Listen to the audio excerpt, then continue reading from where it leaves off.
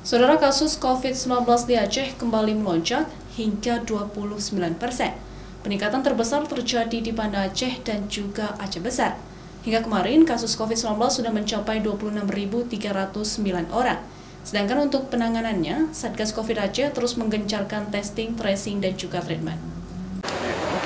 Dari data Satgas COVID-19, kasus positif mengalami kenaikan hingga 29 persen pada pekan terakhir, terutama di kota Banda Aceh dan Aceh Besar. 48,83 persen berasal dari kota Banda Aceh dan Aceh Besar.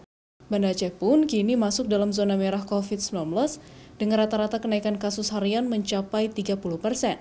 Hingga 12 Agustus, angka kumulatif COVID-19 di Aceh telah mencapai 26.309 orang.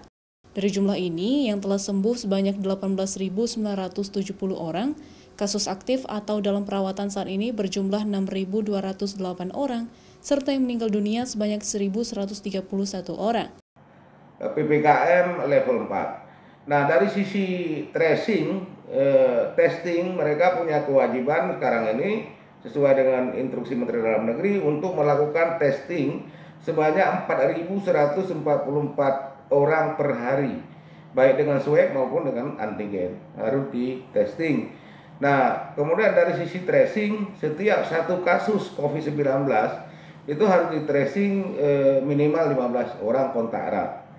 Kemudian dari sisi uh, treatment atau penanganan, Banda Aceh sudah menyediakan tempat isolasi yang disediakan oleh pemerintah sehingga bagi mereka masyarakat yang gejala ringan atau tanpa gejala bisa isolasi di tempat itu. Sementara itu, tim Satgas COVID-19 Aceh maupun di daerah diminta untuk tetap aktif melakukan testing, tracing, dan juga treatment.